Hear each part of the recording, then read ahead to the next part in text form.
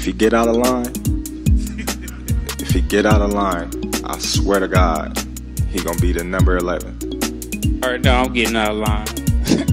I've been, I've been getting out of line my whole life, so so it is what it is. If you take, your place. hey,